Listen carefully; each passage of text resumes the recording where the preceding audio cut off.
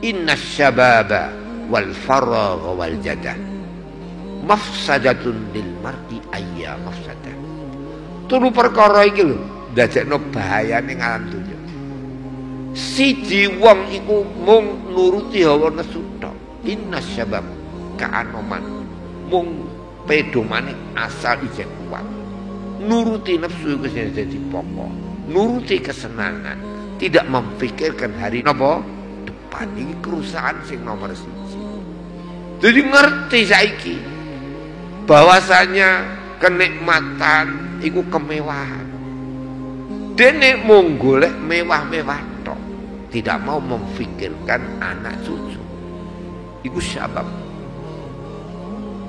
Jadi nuruti hawa nafsu nuruti setan nuruti aja aning apa sing ora cocok ning hukum syariat? Kerusakan sing maha besar.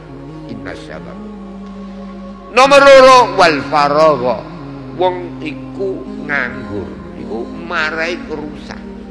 Mergo wong iku nek nganggur pikirane ora ana sing apik. Gak ada duit kepengen duit nyambut gawe gak iso nganggur.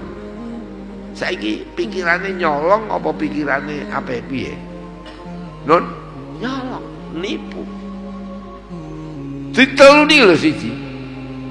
Siji nuruti nafsu, nuruti setan, loro nganggur, pengangguran, banyak pengangguran. Nomor telu wal jadah semuge, maknanya orang duwe karep. Wong nek wis ora duwe karep ya repot. Dikon maju ora seneng. Dikongkon mencari pengetahuan, ah ngene wis sampe kok.